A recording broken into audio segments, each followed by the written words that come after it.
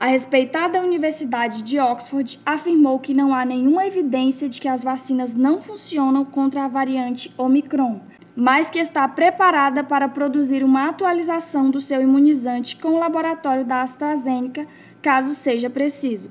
Só que para isso são necessários dados científicos que nenhuma farmacêutica ainda tem, porque é tudo ainda muito recente. Para obter esses dados, a AstraZeneca já está fazendo pesquisas em Botsuana e Eusatini, países onde a nova variante foi detectada. As vacinas que já temos são capazes de proteger contra as piores formas de Covid e evitar hospitalização e morte.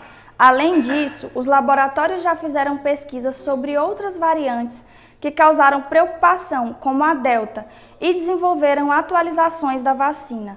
Portanto, eles já têm nas prateleiras versões modificadas que podem funcionar mais especificamente contra a Omicron. A farmacêutica Pfizer, cuja vacina também é aplicada no Brasil, diz que a empresa está preparada para adaptar o imunizante rapidamente, em até seis semanas, e entregar doses que protegeriam contra a Omicron em até 100 dias. Mas a companhia ainda não sabe se isso sequer será necessário. A Janssen também disse que a companhia está trabalhando duro nas investigações.